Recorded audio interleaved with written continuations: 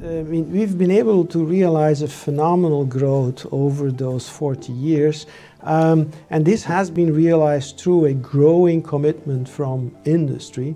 But at the same time, this commitment from industry was leveraged on top of very strong and stable support from, uh, from the local government.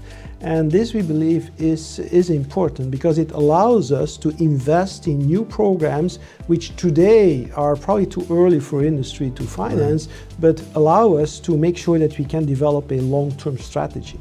At the same time, there is an enormous consolidation in the industry. Only kind of the, the biggest companies can stay in the race, uh, especially for the advanced technologies.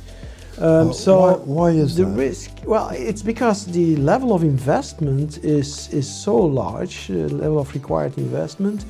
Um, but as a consequence of having very few players, I mean, the risk uh, of R&D is is becoming phenomenal. It is extremely important that uh, we accelerate the innovation capability um, and um, and so the, the CHIPS Acts are the right opportunity to do that, but if we're going to implement them in such a way that everybody is going to try to do everything and keep everything locally under control, I believe is going to be a setback rather than an acceleration because it will result in duplication of activities, it will result in increase of cost, and it will result in a slowdown of innovation, which is the opposite of what the CHIPS Acts are striving for.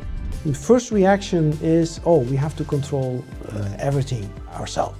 Now, this, I think, for this industry is not the most effective way. Uh, I think collaboration is still very important, is, is going to be the essence uh, to make it successful.